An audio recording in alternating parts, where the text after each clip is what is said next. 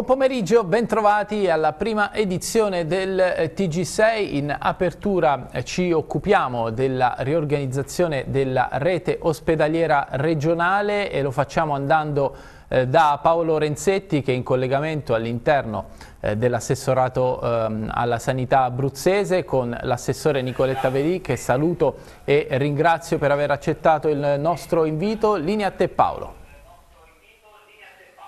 Grazie Alfredo, buongiorno, buongiorno da Pescara, dalla sede, come hai detto tu, eh, dell'assessorato regionale alla sanità. Grazie alla dottoressa Nicoletta Veri, assessore alla sanità. Grazie. Grazie, ehm, grazie a voi tutti assessore... e saluto tutti i telespettatori. Grazie Assessore perché ovviamente sono giorni, direi mesi di lavoro intenso senza soluzione di continuità, il caso di dire. Tra l'altro questa mattina ne parleremo, poi ha incontrato anche una delegazione degli OS che lavorano presso eh, gli ospedali della nostra regione, ma direi di andare per ordine, ne parlava anche il collega Alfredo Primante da studio, ieri è stato approvato in giunta questo piano di riorganizzazione ospedaliera della nostra regione, quali sono i punti salienti? Sì, ieri abbiamo presentato sia in quinta commissione e poi successivamente abbiamo deliberato in giunta quello che è un piano di riordino della rete ospedaliera dopo l'emergenza Covid, quindi che tiene presente tutte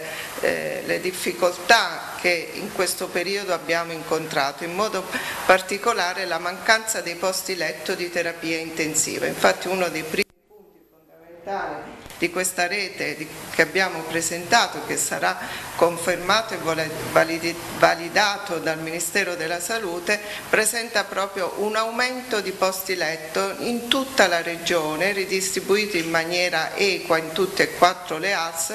per un numero complessivo di 66 posti. Poi abbiamo anche riorganizzato i posti terapia subintensiva e quindi ne avremo 96. Questi posti sono fondamentali e finalizzati per eh, diciamo, i momenti di emergenza ma soprattutto anche per dare delle risposte nei momenti in cui non ci saranno le emergenze a quelle che sono le patologie complesse, quindi l'ictus eh, e tutti gli interventi chirurgici che hanno bisogno bisogno di terapia intensiva. Questo piano prevede anche fondi finalizzati alla ristrutturazione di tutti i pronti soccorso, con fondi anche in questo caso distribuiti su tutti gli ospedali, su tutti i presidi ospedalieri che hanno il pronto soccorso e soprattutto fondi finalizzati al nuovo numero di personale, quindi un maggior numero sia di medici che saranno assunti, sia di infermieri e di professioni sanitarie. Ogni ALS sarà dotata di un'autoambulanza proprio per il trasporto dei pazienti Covid e ogni ALS avrà una struttura libera dove poter allocare degli stand nel caso in cui, ce lo auguriamo che non avvenga, dovesse tornare una epidemia. Possiamo dire, Assessore, che avete lavorato, state lavorando eh, in funzione di quello che potrebbe, ma potrebbe anche non accadere in autunno e possiamo dire che dopo tre mesi in cui gli ospedali della nostra regione sono stati messi a dura prova dall'emergenza sì. sanitaria, ora finalmente si respira. Sì, abbiamo un respiro notevole, proprio ieri abbiamo avuto il doppio zero, ossia zero contagi e zero decessi, quindi un grande risultato della nostra regione, del sistema sanitario sanitario che ha saputo gestire questa emergenza, ripeto, nonostante le difficoltà. Questo, l'ho già detto anche in altre situazioni, non significa che dobbiamo abbassare la guardia, dobbiamo eh, tenere portare avanti tutte quelle che sono state le procedure che abbiamo messo in atto e che continuano ad esserci e poi un'attenzione, quello che è stato anche detto da parte di alcuni specialisti, a quella che è l'esperienza delle altre nazioni. In altre nazioni purtroppo c'è stato un ripresentarsi di queste situazioni di emergenza e quello che noi ci auguriamo non avvenga nella nostra Italia, nel nostro Abruzzo, però ancora di più saremo pronti dopo questa esperienza con determinazione e professionalità a dare quelle risposte. Alfredo, a te la linea per qualche domanda all'assessore. Sì, abbiamo parlato, ha parlato l'assessore di posti in più e sicuramente è una buona notizia in generale vista insomma, anche visto anche quello che abbiamo passato in questi mesi. Eh, la mia domanda invece è relativa al personale che poi dovrà eh, così, coprire questi posti letto in più. Che cosa accadrà?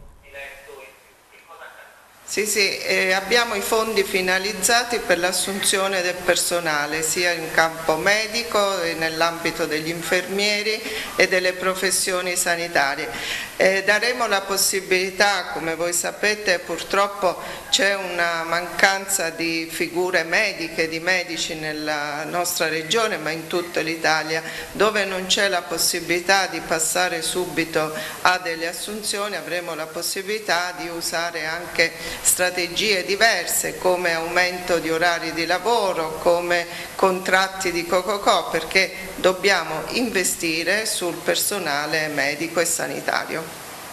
Un'altra domanda invece prima di andare poi alla questione degli OS che ha accennato Paolo in precedenza riguarda eh, proprio le strutture sanitarie. Insomma, sappiamo la fine che ha fatto il project di Chieti, poi eh, ci sono le questioni anche legate all'ospedale di Lanciano, all'ospedale di Vasto, non solo, il nuovo ospedale a Teramo, ecco che cosa accadrà, anche quello ad Avezzano, che cosa accadrà eh, alle strutture ospedaliere che abbiamo e a quelle che dovranno venire? Questa è una domanda importante perché mi, da, mi permette di dare delle risposte precise e definite. Appena conclusa questa rete Covid ci stiamo impegnando per concludere la rete ospedaliera di tutta la regione Abruzzo. Questa diciamo, conclusione è fondamentale perché appena noi presenteremo questa nostra rete al Ministero avremo la possibilità di avere i fondi sbloccati per l'edilizia sanitaria. E al primo posto questo progetto prevede la realizzazione del nuovo ospedale di Avezzano, poi di Vasto e di Lanciano, che sono le tre strutture diciamo, più fatiscenti e che hanno eh, necessità di ristrutturazione, quindi metteremo in atto le ristrutturazioni, ma il progetto è la nuova costruzione, quindi fondi per l'edilizia sanitaria per questi tre ospedali. E per il DEA di secondo livello, insomma, nei giorni scorsi c'è stata anche tanta polemica rispetto alle parole del eh, dottor Albani su Pescara. Sì, eh, quella, eh, il dottor Arbani poi ha spiegato che era una sua risposta come ruolo di capo dipartimento eh, diciamo, dell'emergenza a Pescara e non ha dato una risposta sono, eh, su quelli che sono i programmi e quella che è prevalentemente la programmazione che spetta al Dipartimento. Il Dipartimento sta lavorando perché vuole dare una sanità di credibilità ma soprattutto appropriata. Noi andremo a ridistribuire nelle nostre reti una rete dell'emergenza-urgenza, una rete delle tempo-dipendenza basata su un riordino che tiene eh, ben presenti quelli che sono gli ospedali hub e SPOC quindi metteremo in rete tutta l'assistenza a livello sanitario della nostra regione e parleremo di poter dare delle risposte non individuando un unico presidio ma mettendo in rete tutti gli ospedali. Quindi mi pare di capire che non, non ci sarà un, un, unico DEA di secondo livello ma una redistribuzione se non ho capito male anche per, per essere più chiari a casa. Sì, c'è un gruppo di lavoro che sta lavorando, sta gestendo, sta studiando proprio quali sono gli interventi sul eh, diciamo, tempo dipendenza e soprattutto su quelle che sono le riorganizzazioni del, delle nostre reti. Allora Paolo, ehm, a te. Sì, allora eh, ne parlavamo in apertura di questo collegamento, questa mattina c'è stato un sit-in, un flash mob eh, proprio eh, sotto la sede eh, dell'assessorato regionale alla sanità degli OS, operatori sociosanitari che lavorano negli ospedali abruzzesi, eh, OS che chiedono la stabilizzazione e ovviamente si rivolgono alla um, regione Abruzzo e all'assessorato regionale alla sanità. Allora possiamo andare a vedere il servizio che abbiamo realizzato in mattinata, poi c'è stato un incontro di una delegazione riunione degli operatori sociosanitari con l'assessore Nicoletta Veri e poi ci faremo eh, dire dall'assessore cosa è uscito fuori da questo incontro. Vediamo il servizio. Questa mattina c'è questo sit-in degli operatori sociosanitari eh, della nostra eh, regione, voi eh, parlate di abbandono da parte eh, della regione, della sanità abruzzese, perché? Perché eh, praticamente siamo sempre i lavoratori di, di, Serie B, in quanto non siamo assunti direttamente dalla ASL ma siamo assunti dalle cooperative, per cui ci sentiamo e siamo operatori di, sec di seconda categoria e questo non è giusto. Non siamo mai mancati sul posto di lavoro, il servizio non è mai venuto meno, ma dopo più di dieci anni vantiamo il diritto di chiedere la stabilizzazione, siamo stanchi, anche perché gli stipendi non sono adeguati e siamo veramente su, eh, al di sotto della povertà. Avete lavorato tanto in questo periodo di emergenza sanitaria e forse non avete visto eh, riconosciuto il vostro lavoro. Chiedo scusa. Il Covid ci ha provato, ci ha provato perché ci siamo ritrovati di colpo in una situazione inverosimile senza, senza, dispositivi di sicurezza, non sapevamo dove mettere le mani, chi eravamo, non, non ci si capiva più niente, abbiamo visto vedere gente da tutte le parti morire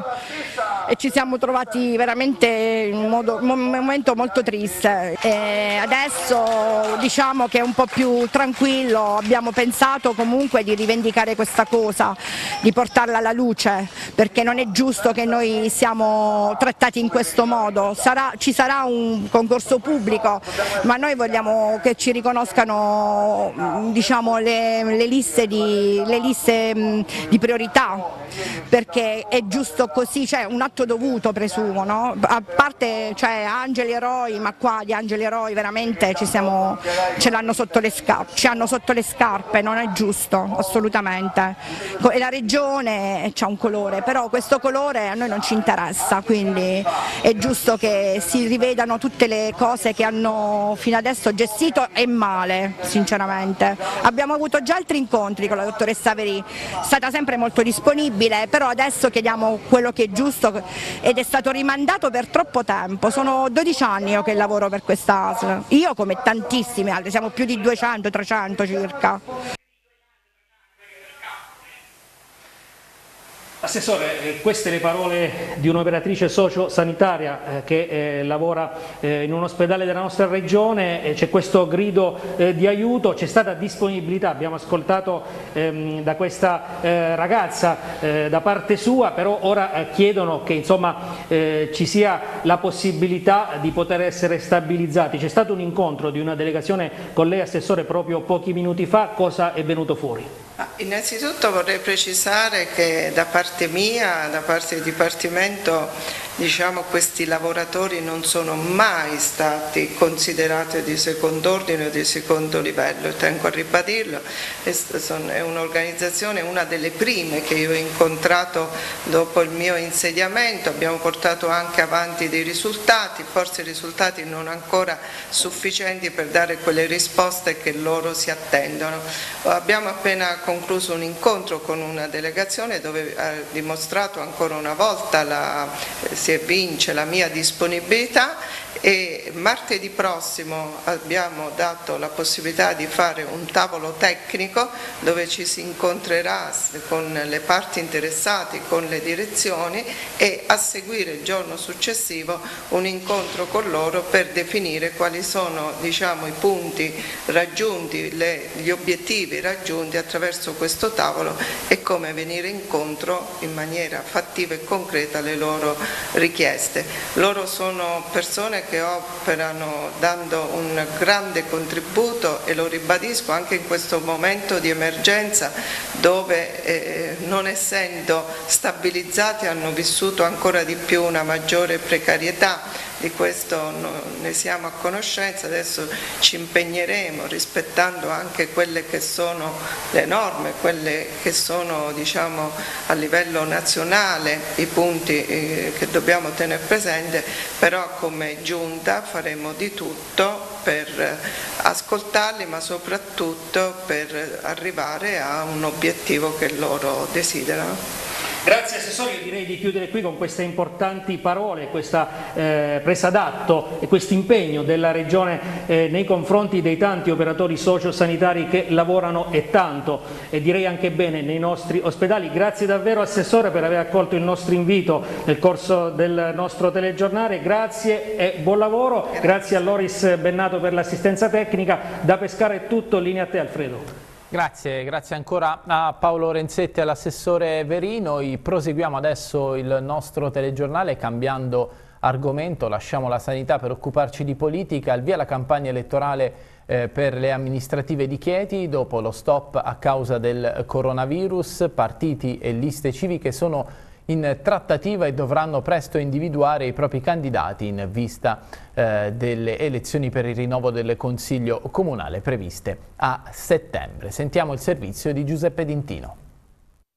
Dopo l'armistizio dovuto all'emergenza sanitaria, i politici teatini sono pronti a darsi battaglia in vista delle prossime elezioni amministrative, che dovrebbero svolgersi nella seconda metà di settembre. Questa è la settimana delle trattative e degli accordi, al termine della quale le formazioni politiche potrebbero designare definitivamente i propri candidati. L'unico nome certo al momento sembra quello di Fabrizio Di Stefano, annunciato ormai già sette mesi fa, ma che non ha ancora reso pubblico il suo programma. Di Stefano è candidato sindaco della Lega, sostenuto anche da Fratelli d'Italia, UDC e due liste civiche. La scorsa settimana infatti lo stesso Matteo Salvini all'Aquila aveva dichiarato che il Carroccio non è più disposto a fare passi indietro a vantaggio degli alleati, ma Forza Italia potrebbe non essere d'accordo. Dopo le frizioni in seno alla maggioranza che hanno portato Di Primio ad abbandonare il partito di Berlusconi per aderire a quello della Meloni, i forzisti sarebbero vicini all'accordo con Italia Viva di Alessandro Marzoli, così da formare un'ampia area centrista lista. I renziani infatti non gradiscono il piddino Luigi Febo, già candidato sconfitto nel 2015, il quale non avrebbe dalla sua gran parte del centrosinistra. Il Partito Democratico Italia Viva potrebbero così riconciliarsi su un candidato esterno, ovvero Bruno Di Iorio, medico ed ex presidente onorario del Chieti, che probabilmente avrebbe il clamoroso sostegno anche di Forza Italia, in barba alle strategie nazionali. Intanto dialogo aperto anche tra lo stesso Di Iorio e Paolo De Cesare, componente del CDA del Maruccino ed espressione della classe imprenditoriale teatina, a sostegno del quale ci sono cinque liste civiche. I due si sono già incontrati e De Cesare potrebbe ritirare la sua candidatura a vantaggio di Di Iorio, presumibilmente in cambio della poltrona di vice sindaco. Insomma, potrebbe presto vedere la luce un eccezionale quanto vasto fronte comune contro Di Stefano, che comprenderebbe PD, Italia Viva, Forza Italia e le liste civiche di De Cesare, tutti uniti contro Di Stefano per un un ampio fronte centrista nel comune abruzzese che a parte la parentesi di Francesco Ricci negli ultimi 30 anni è stato governato esclusivamente dalla destra. La Lega però continua a puntare su un centrodestra unito che comprenda anche i berlusconiani e la decisione definitiva potrebbe essere imposta da Roma. Il Movimento 5 Stelle invece punta tutto su Luca Micone, il primo dei non eletti cinque anni fa. I pentastellati non si sono ancora espressi su eventuali alleanze, ma ci si aspetta che seguano le direttive nazionali accordandosi esclusivamente con eventuali liste civiche, non rinnovando nelle elezioni territoriali l'accordo di Roma con il centrosinistra. Insomma, l'unica cosa che al momento sembra certa è che il prossimo sindaco di Chieti non sarà una donna. A poco più di tre mesi dalle urne rimane poco tempo per concludere i giochi, poi si preannuncia una campagna elettorale estiva particolare, con le limitazioni per il virus e i candidati che dovranno andare a bussare anche alle case al mare per procacciarsi i voti dei chietini. Andiamo avanti ora, la cronaca individuata e sequestrata una coltivazione di marijuana nell'area nell frentana. L'operazione della Guardia di Finanza abruzzese rientra in un più ampio dispositivo per la eh, prevenzione e repressione del consumo di sostanze stupefacenti. Vediamo. 170 piante sradicate dalla Guardia di Finanza nell'area frentana. Non si tratta di un'operazione di disboscamento, ma del sequestro di una coltivazione illegale di canapa indica. Gli sventurati coltivatori credevano di poter nascondere le piantine fatte crescere con cura grazie alla fitta vegetazione circostante, ma l'occhio della legge è piombato su di loro dall'alto tramite una perlustrazione aerea. Così le forze dell'ordine hanno estirpato tutta la marijuana, che ora dovrebbe essere distrutta e sequestrata sequestrato un impianto di irrigazione, fertilizzante e svariati attrezzi da lavoro, ovvero gli strumenti di chi è ricorso all'autoproduzione, invece di ricercare la sostanza stupefacente su altri mercati. Secondo i calcoli dei finanzieri, la vendita al dettaglio delle infiorescenze essiccate avrebbe assicurato guadagni fino a 150.000 euro. Il sequestro inaugura ufficialmente la stagione della guerra alle piante. In questi mesi infatti la canapa cresce fino a poter superare i due metri d'altezza, rendendosi così più facilmente individuabile dall'occhio indiscreto delle forze dell'ordine. Le fiamme gialle così continuano le operazioni di monitoraggio delle aree che maggiormente si prestano alla coltivazione, a caccia di altri stupefacenti giardini prima della raccolta di settembre.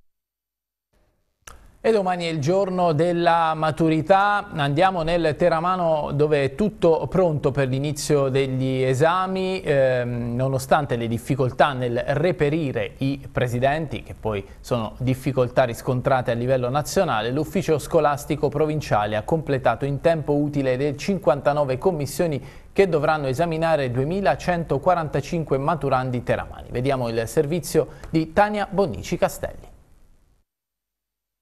Notte prima degli esami, tutto pronto in provincia di Teramo per questa maturità inedita post-Covid. L'ufficio scolastico provinciale ha definito commissari e presidenti delle 59 commissioni che da domani cominceranno ad esaminare i 2145 alunni dell'ultimo anno delle superiori. Un lavoro imponente che ha richiesto un'organizzazione ferrea degli uffici ma anche tanta disponibilità da parte dei docenti. Tutto pronto per domani, commissioni pronte, quali sono state le difficoltà che avete avete trovato? Noi qui in provincia in realtà non abbiamo trovato molte difficoltà perché la, essendo la nostra una provincia piuttosto piccola e, ed essendo composta anche da persone molto collaborative, noi quest'anno eh, in realtà siamo una delle poche province in, in, Italia che non ha avuto problemi con i presidenti. Noi abbiamo 59 commissioni in provincia e ognuna delle quali comprende due classi che sono o nello stesso istituto oppure tra due istituti eh, vicini, insomma, eh, ne abbiamo anche di queste commissioni un po' a scavalco. Eh, abbiamo un totale di 2145 alunni interni che stanno appunto facendo l'esame adesso, inizieranno domani, e, ehm, quindi alunni già frequentanti e poi abbiamo anche 80 candidati esterni che però non sosterranno l'esame nella sessione ordinaria in questa, ma eh, lo sosterranno nella sessione straordinaria che è quella di settembre. La novità di questa maturità 2020 è la prova orale che sostituisce quelle scritte. Ogni scuola ha predisposto un percorso ad hoc per l'entrata e l'uscita degli alunni in sinergia con la Croce Rossa italiana e la Protezione Civile ogni dirigente scolastico ha dovuto approntare un percorso facendo molta attenzione eh, a che non si creassero proprio assembramenti, cioè che questo percorso proprio sia strutturato in modo da l'uscita non coincida con l'entrata, eh, che eh, gli studenti vadano scaglionati, cioè non possono crearsi assembramenti né fuori né tantomeno all'interno degli istituti e ogni studente non si può presentare prima dei 15 minuti della convocazione per sostenere il colloquio, può essere accompagnato solo da, un, da una persona, un accompagnatore che poi potrà anche assistere all'esame, dovranno rispettare tutte le misure ehm, con i dispositivi proprio personali di sicurezza, insomma è stato un grande lavoro organizzativo. Intanto l'ufficio scolastico provinciale di Teramo sta già lavorando per l'annunciata riapertura delle scuole prevista a settembre. L'auspicio è che tutti gli alunni teramani possano rientrare nei propri edifici scolastici, molti dei quali hanno bisogno di urgenti manutenzioni. Il presidente della provincia di Pescara, Antonio Zaffiri, interviene alla consegna dei lavori sulla uh, provinciale 20 facendo il punto della situazione su viabilità e sicurezza scolastica. Su quest'ultima Zaffiri ha annunciato di essere pronto anche a non riaprire gli edifici scolastici a settembre in caso di poca collaborazione e chiarezza da parte del Ministero dell'Istruzione. Sentiamo il servizio di Stefano Recanati. Dopo l'annuncio dell'avvio dei lavori sulla provinciale 20 che collega Pianela a Loreto a Brutino, il presidente della provincia di Pescara Antonio Zaffiri torna a parlare di viabilità provinciale, dichiarando come dal gennaio 2019 lo stesso ente ha già attivato 67 procedimenti, oltre ai nulla osta per quanto riguarda i vincoli ambientali e non. E dal gennaio 2019 ad oggi sono stati attivati 67 procedimenti, quindi 67 cantieri, 67 progetti, oltre a tutti nulla osta eh, per quanto riguarda i vincoli ambientali e non e per quanto riguarda il genio civile. Quindi immaginate voi che tipo e che mole di lavoro la provincia sta svolgendo su tutta la provincia di Pescara. Poi ci sono dei lavori che partono prima anziché altri, ma dipende soprattutto dal, dalla complessità eh, per l'ottenimento di questi nulla osta. Sono 67 procedimenti su tutta la provincia di Pescara per un importo di circa 43 milioni di euro, se non erro, in parte realizzati, in parte stanno partendo come quello di Pianella che oggi diamo il via. Di competenza provinciale ci sono anche gli edifici scolastici e proprio su questo, tra mille difficoltà, sta lavorando la provincia di Pescara in attesa della decisione ufficiale da parte del ministro dell'istruzione Lucia Azzolina, che dagli stati generali annuncia la volontà di puntare alla riduzione del numero degli alunni per classe. Ad oggi abbiamo delle linee eh, guida da parte del governo che non sono ancora ufficiali, eh, sono tutte proposte e molto probabilmente entro giovedì arriveranno quelle ufficiali, ma stante eh, le linee guida di oggi, di oggi eh, fa, faremo molta fatica, molta molta fatica per riaprire le scuole.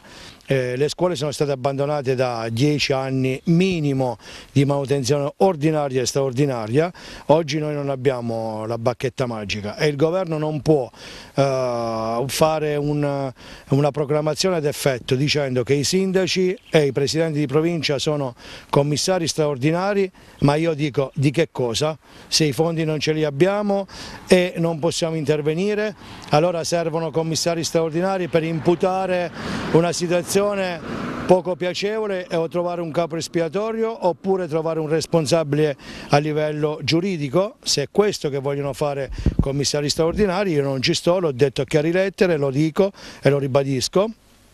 che senza fondi e senza certezze le scuole possono rimanere chiuse. È stato proclamato il vincitore del premio alla carriera per la sezione cinema della 47esima edizione dei premi Flaiano. Il riconoscimento andrà all'attrice britannica Ellen Mirren. La serata finale è in programma il 5 di luglio al Teatro D'Annunzio di Pescara. Sì, premio alla carriera per il cinema eh, ad Ellen Mirren, questa straordinaria attrice e vincitrice nel 2007 del premio Oscar che sarà a Pescara il 5 luglio per ricevere il Pegaso d'Oro. ricominciamo come abbiamo detto in conferenza stampa dopo un periodo difficilissimo e quindi questa presenza ci, ci eh, eh, rasserena, ci dà la voglia di riprendere la vita eh, normale, la normalità della nostra vita con nuove regole perché eh, come sapete il Flaiano si svolgerà tutto all'aperto al Teatro Monumento d'Annunzio e per eh, poter eh, agevolare il rispetto della normativa anti-Covid. Un respiro non solo internazionale ai premi ma anche a Pescara e all'Abruzzo, diciamo che fanno bene al territorio territorio, fanno bene alla eh, pubblicità che il nostro Abruzzo deve, deve avere perché è una terra straordinaria anche dal punto di vista culturale. Una stagione importante questa per il Flaiano, anche alla luce di quanto detto dal sindaco di Pescara qualche giorno fa in occasione di un'altra conferenza stampa, perché l'amministrazione comunale è al lavoro per riportare le spoglie di Ennio Flaiano a Pescara. Sì, è stata una eh, un'iniziativa importante quella del sindaco perché credo che Flaiano meriti tutto questo. Flaiano è stato eh, uno dei, dei, più grandi sceneggiatori italiani e non ci dimentichiamo che eh, probabilmente eh, Fellini senza Flaiano non avrebbe eh,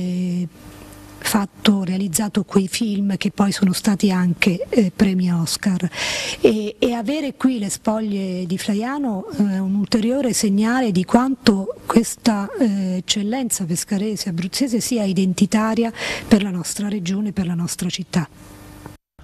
Passiamo allo sport intervenuto ieri sera nel corso della trasmissione replay condotta da Enrico Rocchi. Il centravanti del Pescara Valeri Boginov ha parlato della condizione fisica sua e della squadra in vista chiaramente della gara di sabato contro la Juve Stabia e poi ha svelato di avere un desiderio condiviso con il presidente Sebastiani, chiudere la carriera a Pescara e farlo nella massima serie. Sentiamo